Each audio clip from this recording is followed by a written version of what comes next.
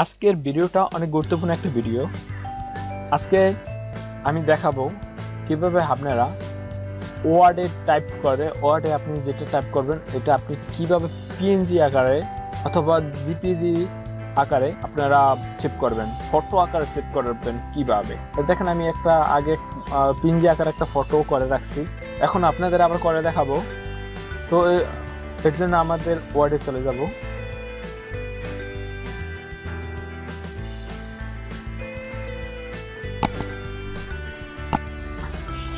দুই হাজার দশের নিচে যে সে বাসনগুলো আছে, এগুলো হয়। তো এটা আমি এখন কিছু একটা টাইপ করব। আমি এখন কিছু একটা টাইপ করলাম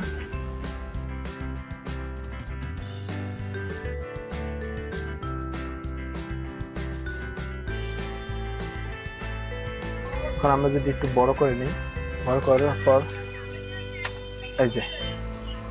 আমি এখন এইটা ফটো আকারে সেভ করব। পিএনজি অথবা জিপিজি আকারে এটা সেভ করে দেখাবো। তো এটা করার জন্য আমাদের সব কপি করব। যেটুকু আপনি পিকচার বানাতে চান, সেটুকু আপনি কপি করেন। কন্ট্রোল এ কন্ট্রোল সি আমি সবটুকু এটা বানাবো, তাই আমি এটা কপি করে নিলাম। কপি করার পরে এই যে হোম বাটনে যে উপরে পেজ লেখা আছে আপনি ও যে পেজটির নিচে যে একটা এটার উপরে ক্লিক করুন। এখানে যে চারটে অপশন আসছে। কলম আঁকা, তারপর এরকম বেঁকা তারপর পিকচার তারপর এই লেখা। আমরা পিকচারের উপর দেবো। পিকচার বানাবো তখন পিকচারের উপর দেবো। আর আমাদের যদি এটা এখানে না আসে, তাহলে ওই যে উপরে প্রথম যে অপশনটা এখানে পেজটা এর উপর ক্লিক করব। তারপর ওই যে পিকচার এই পিকচার সিলেক্ট করার পর এখন ওকে দেবো। আমরা কিন্তু এখন এটা পিকচার আকার হয়ে গেছে, দেখেন। এই যে পিকচার আকারে কিন্তু এটা এখন হয়ে গেছে। মাউজের যে কালচারটা এটা কিন্তু পাল্টাই গেছে, এটা ধরা যায়। ঠিক আছে? মা- এখন মাউজের রাইট ক্লিক করব। রাইট ক্লিক করার পর এই যে এখানে ইডিয়েট পেজ মানে আপনার ইডিয়েট করে নিতে পারবেন।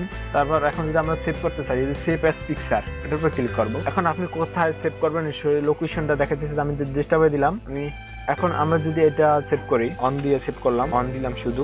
অন দেওয়ার পর, এই যে আমাদের এখন কোন আকারে সেভ করে দেখাবো? যদি পুরো পিএনজি প্রথমটা, তারপর জিপিজি দ্বিতীয়টা, তারপর জি আই এফ ফাইল এটা আপনি তিন চারটা ফাইল দিয়ে সেভ করতে পারেন তো প্রথমে আমি পিএনজি আকারে সেভ করলাম। এই পিএনজি আকারে দিয়ে সেভটা দিলাম। তখন আমি এটা আবার দেখাবো, জিপিজি আকারে সেভ করে দেখাবো। এক একরকমই আপনারা ওইটাই করে দেখতে পারবেন, অথবা আমি যদি একটু রুম পাল্টাই দিই।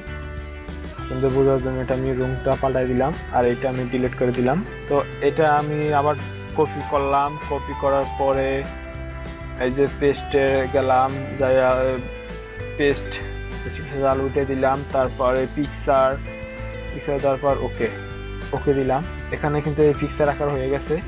এখন যদি আমরা মাউজের রাইট ক্লিক করি ক্লিক করার পর এখানে ইডিয়েট পিকচার আছে ইডিয়েট করে নিতে পারবেন চেঞ্জ পিকচার আছে ফিল্ম চেঞ্জ করে দিতে পারবেন ফাইল দিতে পারবেন, তারপর সেভ অ্যাজ পিকচার দিলাম।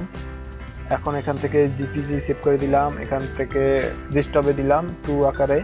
টু নেম ফাইল নেম দিলাম টু এখন আমি সেভ দিলাম।